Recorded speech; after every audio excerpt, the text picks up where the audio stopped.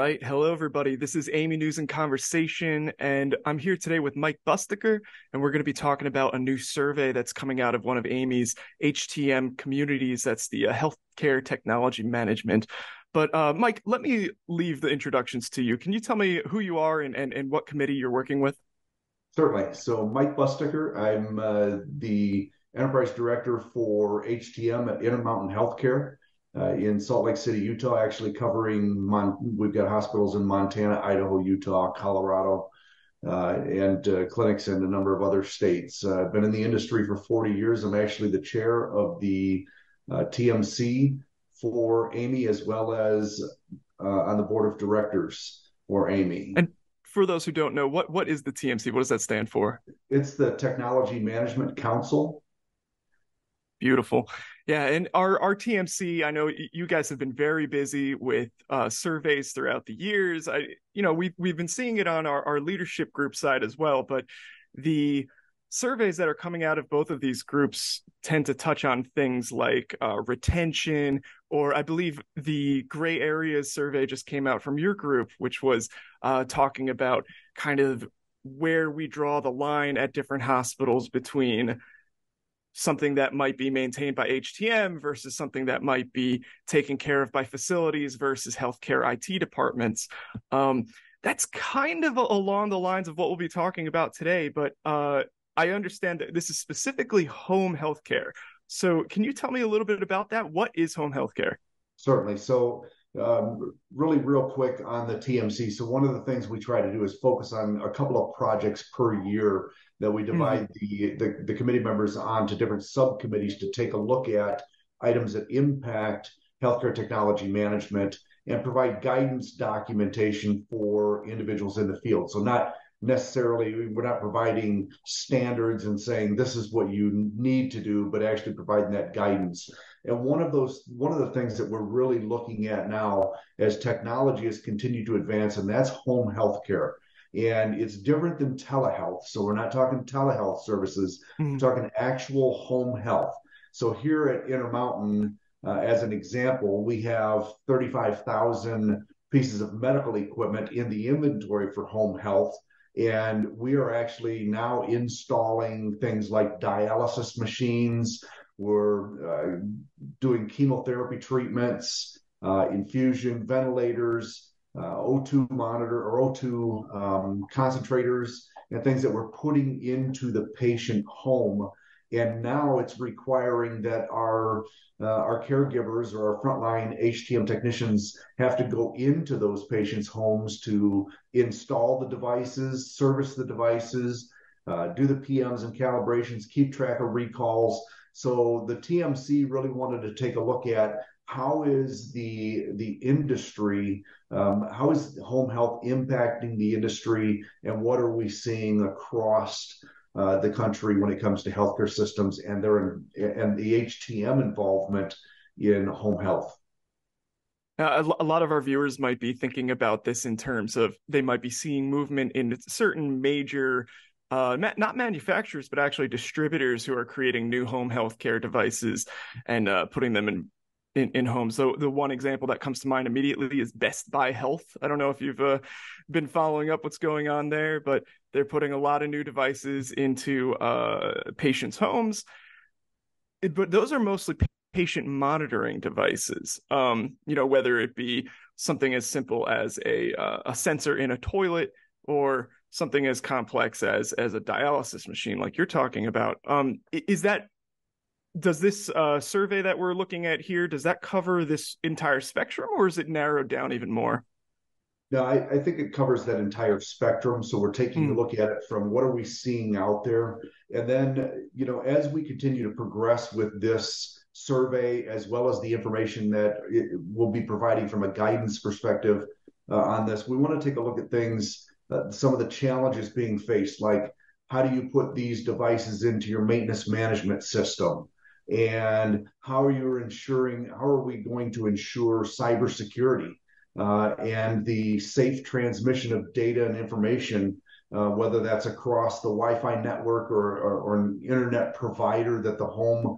health uh, patient has as well as, I mean, we're talking about individuals going in and tapping into water supplies, uh, putting in drains, um, you know, because if you look at if you look at the information from a home health perspective, patients recover quicker uh, and are much more comfortable in their own homes receiving that mm. uh, that medical care and treatment. So it, it, that really, in, in looking at it from the HTM perspective, you know, our, our technicians anymore are not located in the shop, in the hospital, and going out to the floors. Now they're being required to actually go to a patient's home. So how do we uh, how do we really protect that data, protect the information, develop the soft skills, uh, understand um, a, a, safety and security perspective, um, as well as ensuring that we're tracking all of that equipment from every standpoint, whether it's uh, the preventative maintenance, service and repair,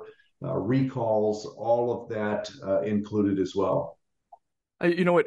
You mentioned the technical skills, which is kind of a gimme but this I was glad you brought up the soft skills too because a lot of the HTM professionals that I talk to if I ask them what is different in the field from if you compare now to say 10 15 years ago? A lot commonly they're saying well i'm interacting with people more. I'm not just in the basement fixing devices every day and nobody sees me.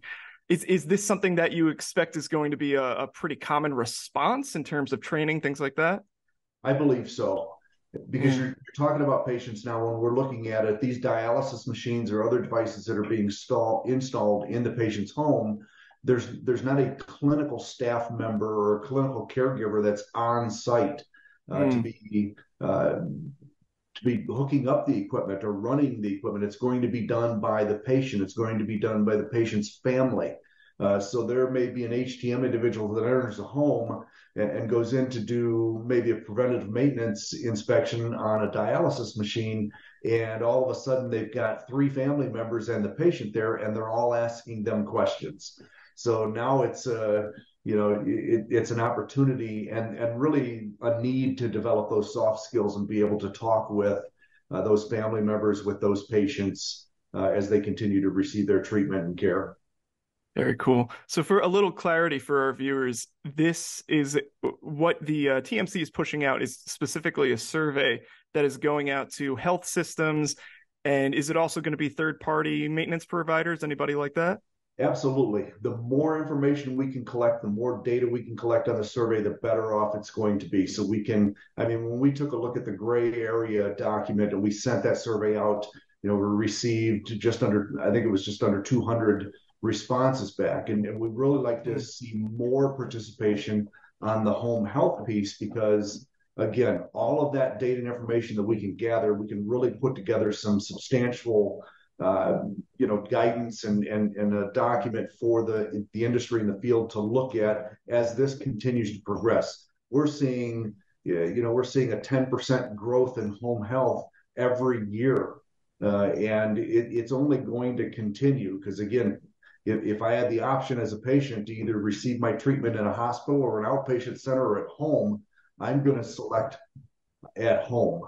So the more information that we can collect from the field and the industry, uh, the better off we're going to be, and the the really um, the more clarity and and, and uh, information that we can get from the field, we can get into the document and send out to the field. Beautiful. This is, this almost feels like a, a post-COVID pulse check on the industry, on the profession. Um, what are you ex- not expecting, but w- what would you see as success for this? You know, if you had information that you could share with your peers uh, in this industry, what would are you hoping it's going to look like? I one of the things that I'd like to do is I'd like to understand from an industry industry perspective what we're seeing out there in healthcare institutions, whether it's healthcare systems, whether mm-hmm. it's standalone community hospitals, uh, rural facilities. Uh, what are we seeing out there from from the HTM perspective and involvement in home health? Uh, you know, we have here at, at our organization, we have five uh, technicians that are assigned to the home health alone, just home health. That's all they do uh, is home health equipment. And then we've got four, uh, an additional four individuals that are assigned to the power chair shop. So they work with patients day in and day out on uh, on modifying and creating and and getting them power chairs that uh, that they can use for everyday life. And and again, those other five, all dedicated to home health. Oh, I bet. It, how new are these positions? So we've been doing it for quite some time here hmm. at Intermountain. Uh, that that group was separate a few years ago. We rolled them into the entire HTM department, uh, and we see some of the some of the individuals that are there absolutely love uh, their job and what they do and working with patients every day. Uh, I think it's uh, you know it's really unique, uh, yeah. unique position, and and they just love that. And uh, so we, we really um, you know, we really strive to hold on to those techs and really keep them in the positions that they're in. But I think that's what we want to see from an industry perspective is how many organizations out there are that involved with the home health? How many of them have home health facilities uh, located throughout a state or a region where equipment's going out to patients and then coming back to those? And, and what's the HTM involvement? Uh, what's the HTM involvement from a hospital perspective when a patient goes home and there's medical equipment that goes with them? Uh, how how involved is HTM from that perspective? So I think that's what the survey is looking for. Uh, really, the amount of data and information on how involved is HTM, and I think we're going to see it across the entire spectrum. We're going to see organizations that are fully involved, and we're going to see organizations that at the current time they're they're not touching any of that uh, any of those devices. But I think you know it, it's it's looking and it's moving to the future where they're going to it, it's going to require involvement. Right. No, so for anybody who's who's watching right now, we're going to have a link in the description to the survey. So if, as you're watching this, you're like, "Hey, that's me. I should be filling that out." Please go and do it. Share it with your peers uh, you know, even even if it's at another healthcare system, absolutely try to get this spread because the more information Mike and his team have, uh, the better they can come up with uh, best practices and and you know that kind of guidance, not necessarily standards, but just suggestions and guidance for the community at large. Uh, Mike, is there anything else that you wanted to share with us before we wrap this up? No, I just uh, again, it it really is important that we get the the perspective from all um, all segments of the industry. So we're looking at uh, maintenance management systems. You know, we've got a number of CMMS uh, organizations out there, and how involved are they in the home health industry?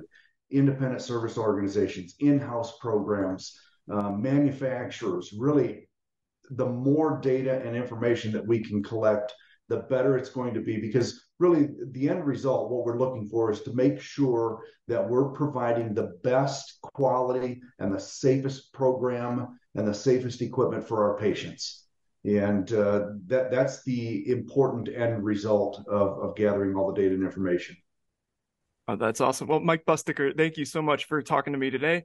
We're going to get this spread. We're going to get that information because it really sounds like it's going to help. Yes. All right. Thank you. I appreciate AAMI's uh, um, taking this on and, and the Technology Management Council and the subcommittee members and, and all of the participation from those that do the survey. Beautiful. All right.